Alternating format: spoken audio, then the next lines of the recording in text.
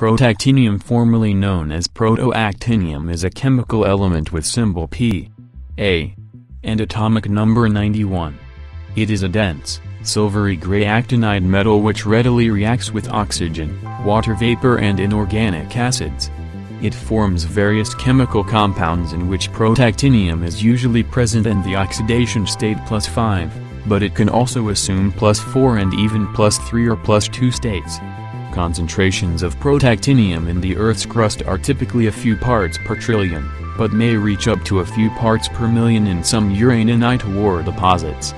Because of its scarcity, high radioactivity and high toxicity, there are currently no uses for protactinium outside scientific research, and for this purpose, protactinium is mostly extracted from spent nuclear fuel.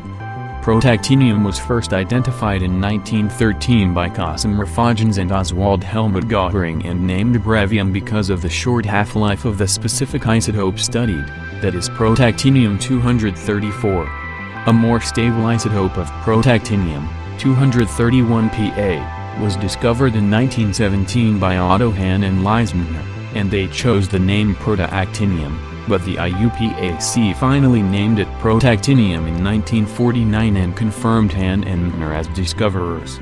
The new name meant precursor of actinium and reflected that actinium is a product of radioactive decay of protactinium. John Arnold Cranston, working with Frederick Soddy and Ada Hitchins, is also credited with discovering the most stable isotope in 1915, but delayed his announcement due to being called up for service in the First World War.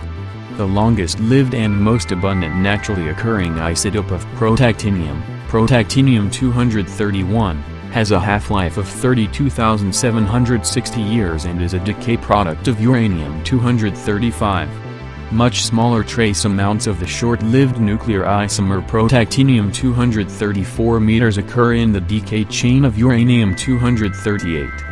Protactinium-233 results from the decay of thorium-233 as part of the chain of events used to produce uranium-233 by neutron irradiation of thorium-232. It is an undesired intermediate product in thorium-based nuclear reactors and is therefore removed from the active zone of the reactor during the breeding process.